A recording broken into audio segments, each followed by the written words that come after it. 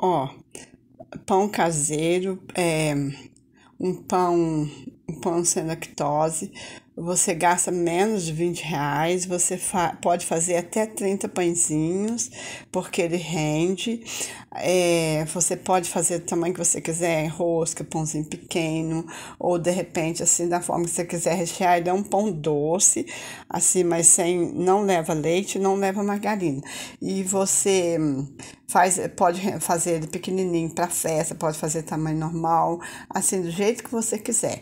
E a receita completa desse pãozinho que você pode fazer para tomar o café da manhã então, hoje, principalmente domingo, eu fiz ontem para o café da manhã de hoje, para tomar um café bem quentinho.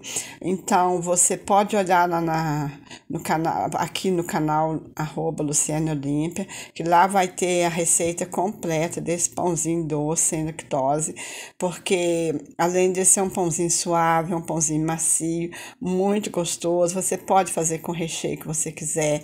Eu já fiz com carne moída batata, coloquei baroa também, fica muito muito gostoso. Você pode fazer com linguiça calabresa, você pode fazer com queijo. O recheio você pode fazer a gosto. já fiz, eu coloquei até com coco também, que fica muito bom. Ó, você pode seguir a receita aí no arroba Luciano Olímpia, no canal Luciano, arroba Luciano Olímpia, e ver a receita completa passo a passo. Aí você vai estar fazendo um café da manhã, um café da tarde, mesmo você pode fazer o tamanho que você quiser. É, dá assim, se você fazer um tamanho normal, normal, aí vai dar um pouco menos. Se você fazer um tamanho que você quiser menor um pouco, vai dar até 30 pãezinhos. Eu faço rosca também, pãezinhos e rosca. Então você pode fazer que você vai gostar. É um pão muito gostoso, fica muito macio e é muito saboroso. Canal arroba Luciano Olímpia.